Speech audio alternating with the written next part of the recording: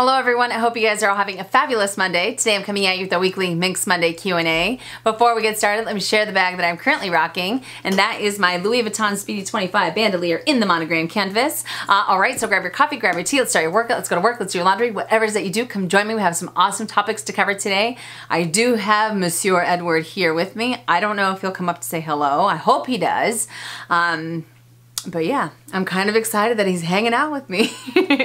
All right, so starting with the first question from Ma Petite V, hopefully I said that correctly. What are your thoughts on Hedi Slimane taking over Celine and pretty much erasing all the current bags and the history of Phoebe Philo? Will you get another Celine bag before they're gone? Uh, this is an awesome question. And what are my thoughts on Hedi taking over Celine and pretty much erasing the current bags and the history of Phoebe Philo? Um, I'm not the craziest about it. I know that there's been a lot of talk uh, and there's a lot of different threads on the purse forum on this uh, on this exact topic. And um, someone said it perfectly on last week's um, MMQA in the comments section. They said that that seems like such an ego thing, you know, to, to want to get rid of pretty much everything that the previous creative director ended up doing. And to me, Phoebe Philo made such a huge impact on the fashion house. And I personally feel that the luggage line, I know this is one that's on the chopping block. Um, one, uh, one of the designs that's not on the chopping block, I could be mistaken, is the box bag. But as far as this one, to me, it's an iconic bag. I know some people think it's done and over with, but it's been around for such a long time. They've made it in so many different um, colors. They made it in so many different types of leather that once you start to do that, to me personally, I feel that it is an iconic bag. It is classic to the fashion house. It's a staple, you know, in a sense. So to want to completely get rid of that and just start fresh, I think that's kind of ridiculous um, because even if it's not necessarily not necessarily for you, if it's not necessarily the direction that you want to go for, to me there's a part of being able to appreciate what the previous person did, especially if they made such a big splash with the fashion house. You know, some people might see it that way, some people might not, but um, yeah, I think that's incredibly. Um, I think that that's incredibly selfish for someone to want to completely get rid of um, everything else and just start fresh. Um, I will also say that I saw I saw the bag that um, that he uh, that he created, the one that Lady Gaga was recently carrying around.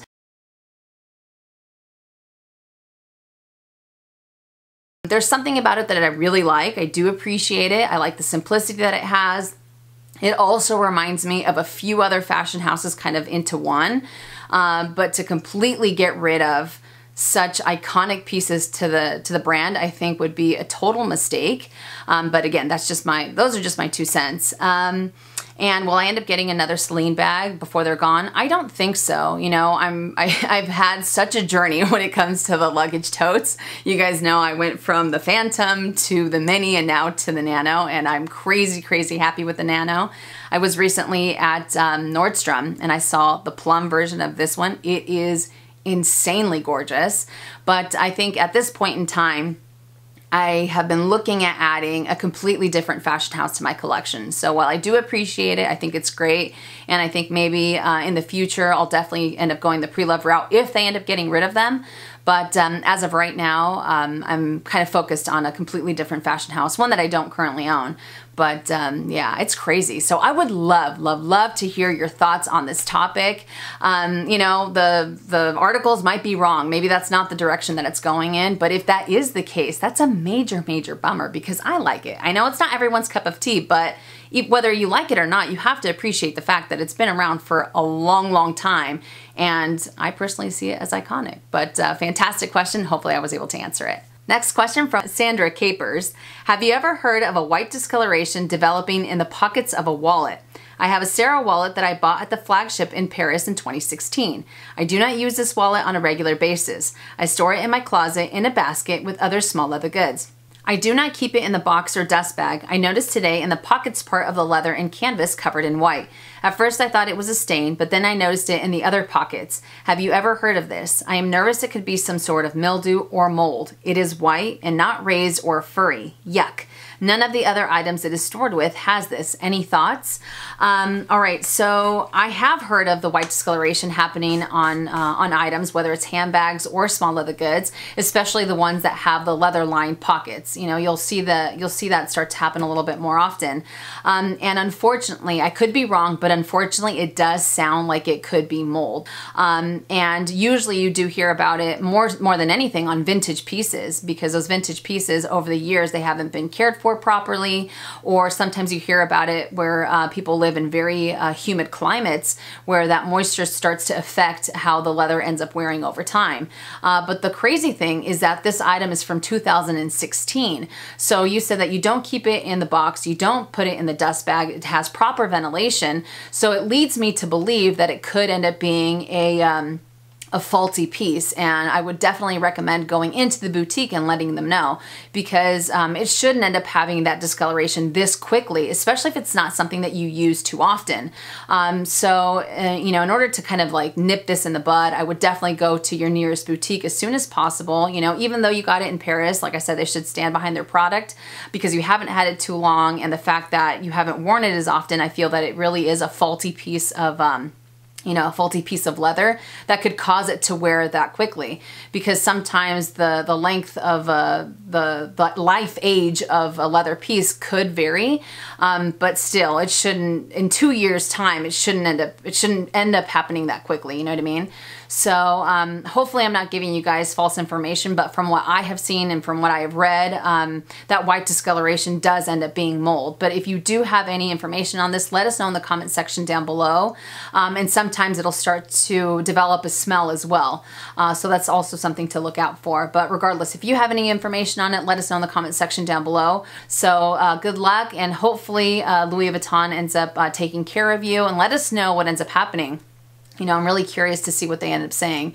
But uh, good luck, and hopefully that was able to answer your question. Next question from Teach Pray Shop. I've had two Neverfull MMs over the years. My first was a Damier Azur with rose ballerine inside. The second one, two years later, was a monogram with a beautiful red interior. Both, although pre-loved, were in like new condition. I ended up selling each one just a couple months after purchasing, but I cannot stop looking at the Neverfull MM. I am on the website every day and checking the pre-love market for a Neverfull MM. I recently met up with my cousin and she had a monogram Neverfull and I couldn't stop drooling. I don't know what to do. Should I just get over it and tell myself that it's just not for me or should I give it one more chance and purchase it new this time? All right. So usually, like I was talking about last week, usually when you end up sell, uh, selling a bag, you detach from it and you figure out why it didn't end up working out for you, right? So that's the first thing that I would do. I would ask myself, why exactly did I get rid of it? Is it because it was pre-loved, as you said? You know, even though they were in like new condition, is there part of you that wishes it would have been uh, brand new? Um, was it because both of them had the colored interior and maybe you prefer the classic beige interior? Um, another thing that you have to ask yourself is does the bag silhouette actually work for my lifestyle? Because if you found yourself gravitating towards other bags more so than that one, or you found that you ended up leaving it on your shelf a lot more often, then that's also something that you want to think about. Because it could be that you do appreciate it, you know, you do appreciate the, the entire details that it has and just the silhouette that it has, but you know in your heart of hearts it won't end up working out for you. Um, and, you know, it's kind of funny because two years later, or even all this time that's passed by, and you're still thinking about it, it could be just because it hasn't been the exact combination that you're looking for. So that's what I was saying about the beige interior. Maybe you do want the monogram with that beautiful beige. It's classic, and uh, that way you can use it a little bit more. You don't have to worry that, um, you know, if you have lighter small leather goods, you'll end up getting that color transfer or anything like that. But more than anything, I would just ask myself and be very honest as to why I ended up getting rid of them in the first place. Because there's been bags that, um, you know, I really like, I end up selling them, but I have to make sure 100% that I, that I am detached from them. Otherwise, I do end up having that seller's remorse that I talked about last week. So I don't know if that's helpful or not, but um, if you do end up going for it, if you do go for the new one, congratulations on your soon to be new Neverfull. Uh, but if you decide to pass on it, I'm sure there's another bag out there that's absolutely fabulous that ends up working out the best for your lifestyle. So fantastic question and hopefully I was able to answer it. Next question from Aliyah Ganisan. Hopefully I said that correctly. I would really like to know how much a Pochette Métis fits in comparison with the Chanel Jumbo. I know they are very different bags, but I have the Chanel Jumbo and I would like to add the Pochette Métis, but I have no point of reference in my collection versus yours other than the Jumbo. Uh, all right, so we have a little bit of eye candy. Here is the Louis Vuitton Pochette Métis in the monogram canvas, and here is the Chanel um, Jumbo Classic Flap in the black caviar with the gold hardware. Uh, all right, so when I first saw this question, I thought for sure I'd end up fitting more in the Jumbo just because of its size, right? It's a little bit bigger. Um, but I was pleasantly surprised to see that you can end up fitting just around the same amount of items in both of them. That's crazy, right? Um, but what I noticed is that when it comes to the Pochette Métis, I can really end up maximizing my space and carrying a little bit more uh, small leather goods if I end up putting them on their sides. By doing that, um, not only am I able to see everything at a glance, but it also doesn't make it as bulky. Because if you were to put the items in here as you would in the Jumbo, it would make it, it would have way too many lumps and bumps. It would end up just kind of sticking out. It would end up uh, protruding off of your body. If you were to close it, it would be a little bit harder to close it, to be honest. Um, but by putting them on their sides, I feel that you can really end up maximizing your space with this one. Um, and when it came to the jumbo, I mean, with this one, you only have so much space, right, on the bottom, and it doesn't have as many compartments as the Pochette Métis does, but it is also a little bit taller. So with this one, I noticed that I can end up putting the items um, right side up. I didn't necessarily have to put them on their side. You can, but if you end up putting them uh, right side up, you have to put them on top of each other in order to carry the same amount of items that you do in the Pochette Métis. At least this was my experience. And to me, sometimes I find that to be a little bit fussy because if you do have to get to this small of the good down here, you have to take everything out on top of it in order to, to retrieve that item. So um, I'm not the biggest fan of doing that, so you can end up putting them on their side, but if you wanted to carry the same amount of items that you would inside of your Pochette Métis, I feel that you'd have to uh, put the small leather goods on top of each other. Um, like I said, some people uh, might end up packing this differently, but um, I tried it all sorts of ways, and any way that I did, I found I found that by doing, uh, by putting them right side up and putting them on top of each other, that's the only only way I was able to really carry as much as the Métis uh, ended up having. Another thing that I wanted to throw out there, if you do end up going for this bag, you will notice um, how lightweight it is in comparison to this guy fully loaded. Because of the canvas, it's just that much more comfortable to be able to use. But this is an awesome handbag. I know it's not for everybody, but um, I know some people might think that you can only carry so much in here, but because of all the little compartments that it has, and uh, as long as your small leather goods aren't too, too bulky, if they aren't too big, you can really get away with carrying a lot more in here. But um, like I said, you can, um, it's crazy that they fit just around the same amount of items. so hopefully that was helpful. And if you do end up going for the Pochette Métis, congratulations on your soon-to-be bag. But fantastic question. Next question from Anne Gremza. Have you started thinking about a Black Friday shopping list yet? Uh, no, I have not. It's crazy that it's right around the corner, right? Uh, but it could be because my birthday is before Black Friday. But to be completely honest with you, I haven't had the best success when it comes to Black Friday deals. I think that once upon a time, way back when, you used to have a lot better pricing, a lot better deals. I mean, substantial savings than you do now. Yeah, you still save 10, 15, 20% off on certain items. And uh, I mean, if you can save any money at any point in time, I think that's awesome. But it's not, like I said, it wasn't, it's not like it used to be. Um, you know, I mostly see the best savings like on electronics or on TVs, you know, and it's like, do I want to buy a TV every single year? No.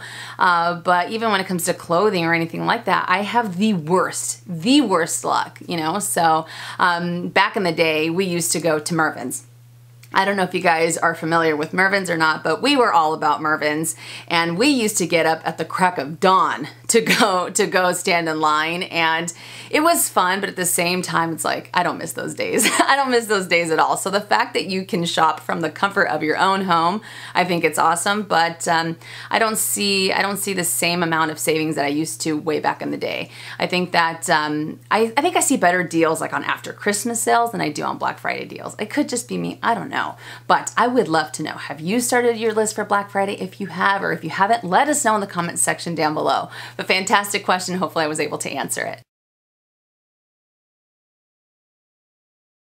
Next question from Lux Lab Life. I know you and I shared the same dream of owning a classic Louis Vuitton piece from our birth years. I recently found a vintage Petit Noé from my birth year with excellent canvas. Although the canvas is wonderful, the leather and the hardware needed some TLC. Since it was my first monogram piece and being so special to me, I splurged and had all the leather and hardware replaced. She's a beauty. Have you been actively searching for a bag from your birth year? When you find one, because I know you will, will you get the Vachetta replaced or keep it in the condition you purchased it in? Well, first and foremost, major congratulations on your vintage Petit Noé from your birth year. I think that's awesome. Um, and have I been actively have I been actively searching for a bag for my birth year? Absolutely, I have. There are days, I hate to admit it, but there are days when I will be in front of the computer or on my phone for hours for hours trying to find one. I find plenty from the early 90s but it's getting harder and harder to find the ones from the 80s, especially ones that aren't so beat up, you know, when it comes to the canvas um, or anything like that. So it's getting harder and harder to find as more time passes.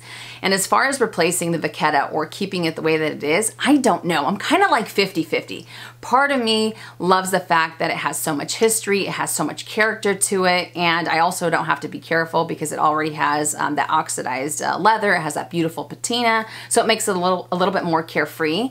And then the other part of me thinks, okay, well, if I end up replacing all of the Vachetta, it's just adding that much more life to the handbag. I can carry it for another 20, 30 years if I want to.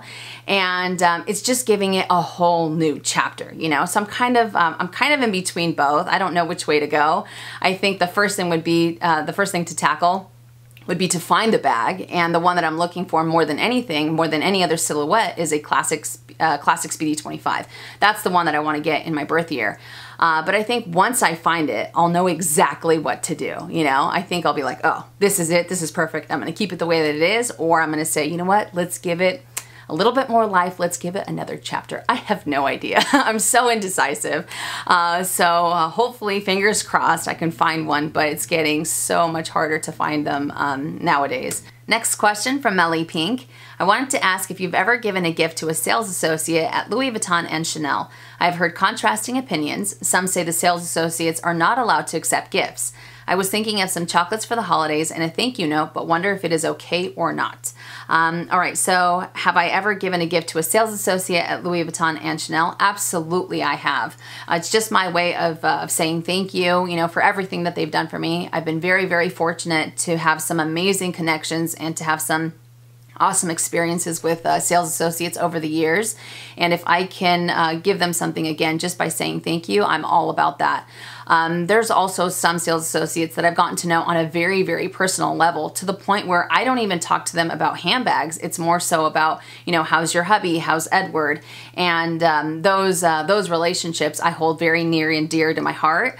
Uh, so I've given them uh, flowers, bottles of champagne, chocolates, gift cards, thank you notes, just any little thing just so I can say, uh, once again, thank you for everything that you've done for me.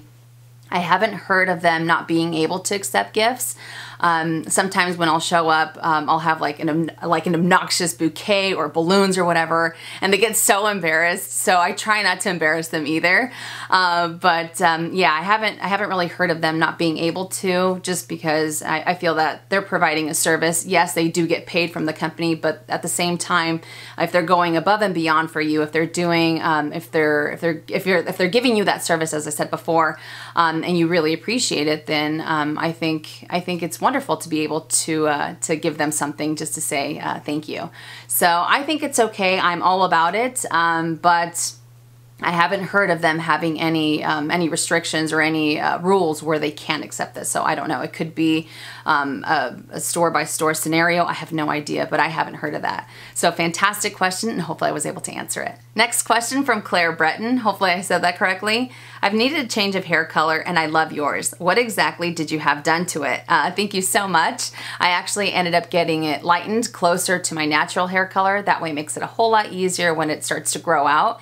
And I also ended up getting highlights, face framing highlights, purely for vanity purposes because let me tell you, these gray hairs are coming in hot and up against my dark brown hair, you can see them a mile away. And I felt like if I dyed my hair on Monday, by Wednesday, you'd start to see it. I have my gray hairs like most people do on the crown of their head. It's like, why can't it show up back here? Why can't I have my gray hairs back here? I don't care what happens back here. But up here, really, it's like I'm at the point of no return. So it makes it a whole lot easier. I will still end up going a little bit lighter just because um, my hair was so dark before, so it's still a process. I do like the caramel, but um, just if I go a little bit lighter, I think it'll make it that much uh, that much easier when they start to come out, you know, because um, I was dyeing my hair. It really felt like every single solitary week and it was getting to be such a hassle. So if I can buy some time by lightening my entire hair color, um, I think I think that's the way to go. But um, I'm definitely, definitely at the point of no return when it comes to dyeing my hair because of these awesome gray hairs. Some people can pull it off. I mean, I, I think it's amazing when I see someone that has their natural hair color and their, their gray hairs are coming out and it just looks so beautiful. Um, but with mine, I think because I've been dyeing it for so long, it looks like, you know what I'm saying? so that's what I ended up doing it. I ended up lightening it and it's still a process. so fantastic question. Hopefully that was able to help. And the last question from Charmex Pixies. I feel like the YouTube luxury community makes it so that there are some bags I want to buy, but I'm afraid to.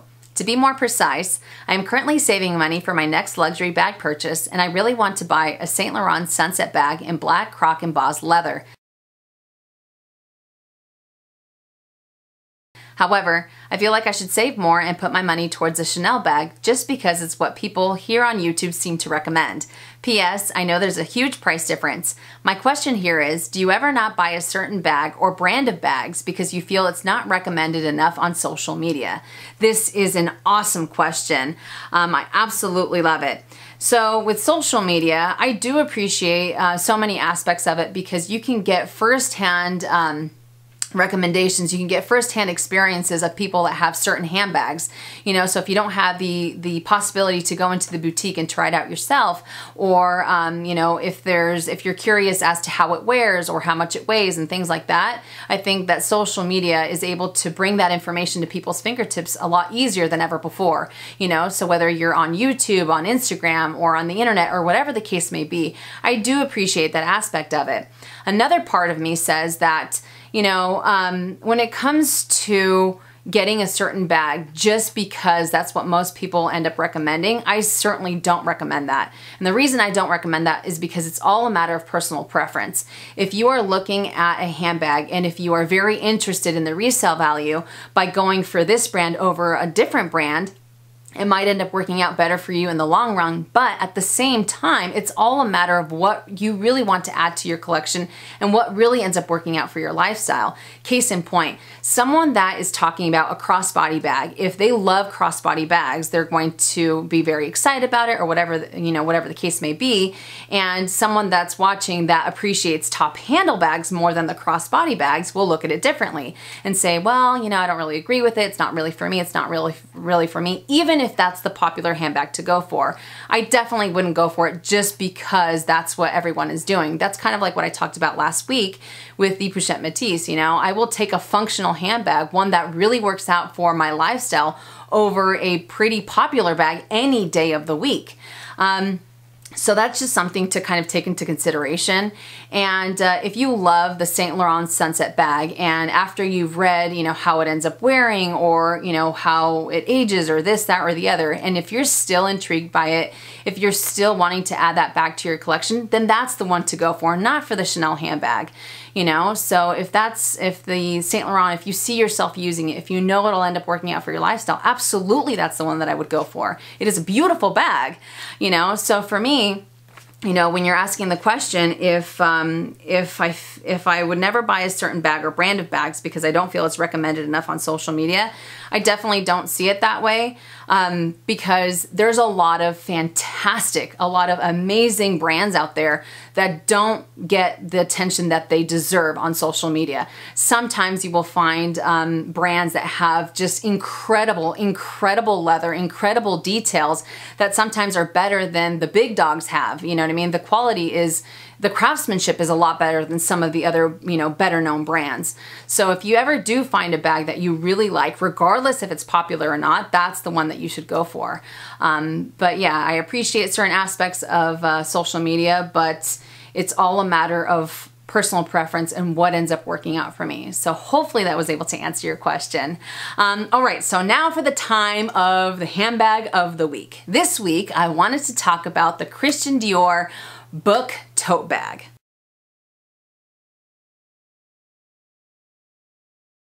All right, so what do you guys think about this bag? I know it's been crazy popular in spring and summer, and uh, it's available in so many different colors.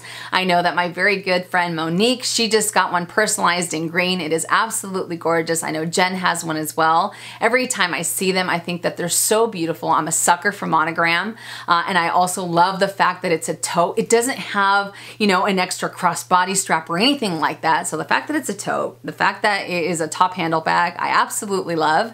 You know, another Another part of me wonders how heavy it is or um, if it's just going to be an it bag for the moment or if it'll end up standing the test of time. So I am curious to hear your thoughts on these bags. I know they're not for everybody. There's certain aspects about it that I really appreciate about it and there's other aspects that I uh, end up questioning, you know, especially for my own personal taste, just because I really don't think I can end up pulling it off.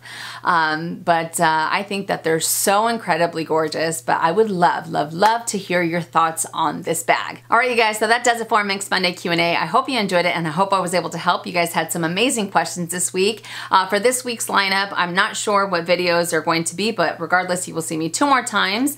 But if you enjoyed this video, make sure and give it a thumbs up. If you haven't already and you would like to, please subscribe to my YouTube channel by clicking on the red button down below and hitting that bell so you're notified when I upload videos, which is anywhere from two to three times a week. And I'll see you guys later. And as always, make it a fabulous day or not, the choice is yours. Have a great day.